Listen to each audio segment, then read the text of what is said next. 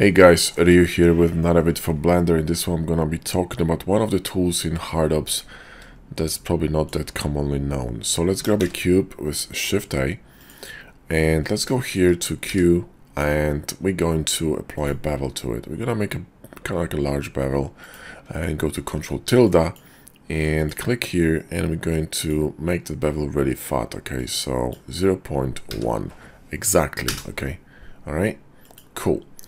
So it's about 10 centimeters, right? 0.1 meter. So now if I'm gonna go to Q, under operations, you got bevel and edge manager. If I just click on this one, right, I'm gonna go to bevel boolean manager, okay?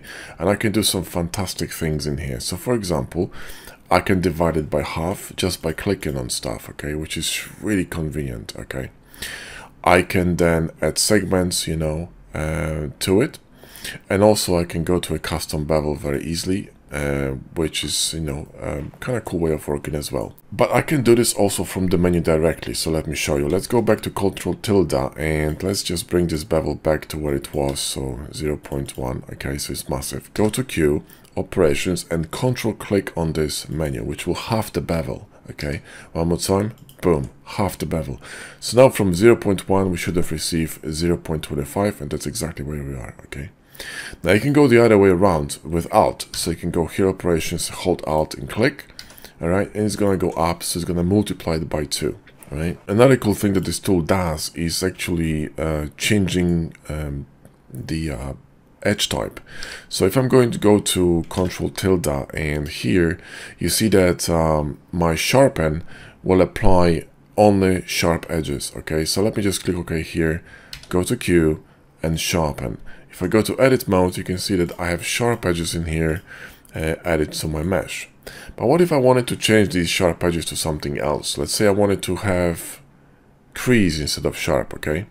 So I can do this very easily by going to Q, Operations, Shift click and switch from sharp to crease. And click OK, and boom, I got crease uh, instead of sharp. I could delete them if I wanted to, so I can go to operations, right? I can go to this tool again and remove crease and okay and I got nothing but just sharp edges right? Then I could for example remove sharpen as well. So I could remove sharpen okay and I click OK and then I got nothing. I'm back to zero okay?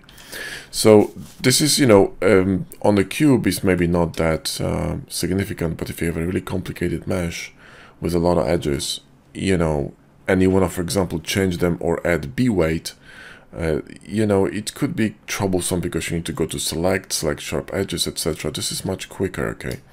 And, you know, gives you this whole menu and different types of, you know, different ways of applying it. For example, you can specify an angle, okay? So if I'm gonna go here to one degree angle, right?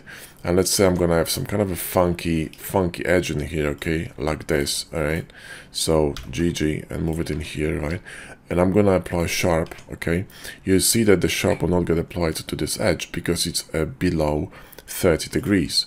But if I'm going to apply another sharp here and I want to recalculate it to something else, and if I do not have this angle option checked in here, so the angle is not really, you know, really, really low, it will not work, okay? So I can now apply everything, all the changes to angle above one degree, and I can, for example, uh, remove the sharp and change from sharp to B weight, okay?